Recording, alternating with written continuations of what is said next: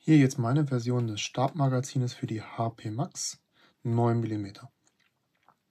Das Ganze ist mit einer Feder und einer Schiene realisiert.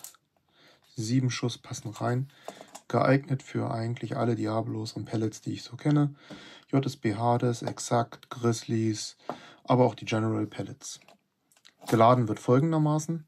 Am besten mit dem Oberteil nach unten.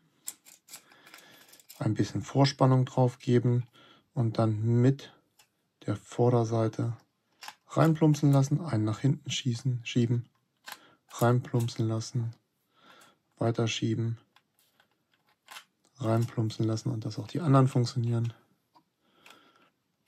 Reinplumpsen lassen, reinplumpsen lassen, reinplumpsen lassen und den finalen genauso. Anschließend klemmt die gesamte Vorrichtung und wird so transportiert. So, jetzt der große Test. Spannhebel nach hinten, Magazin rein, Spannhebel nach vorne, geladen. Sicherung.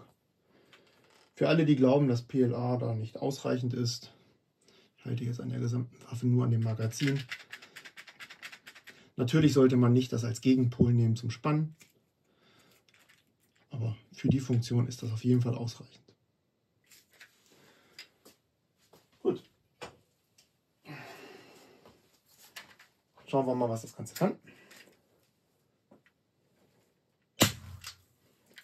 Schuss. Laden. Ein kleines Stück kommt raus, weil eine Kammer auf dem Schlitten weitergefahren wurde.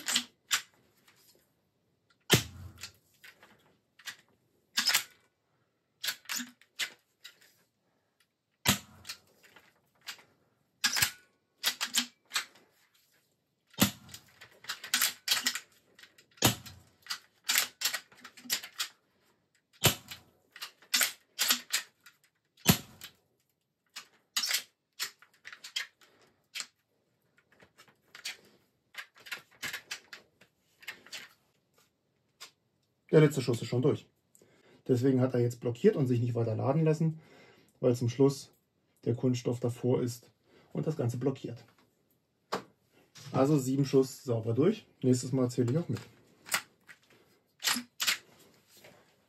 Eins, zwei, drei, vier, fünf, 6. Letzter Schuss 7. Versuchen zu spannen. Ich komme nicht wieder zurück. Waffe blockiert. Magazin ist leer.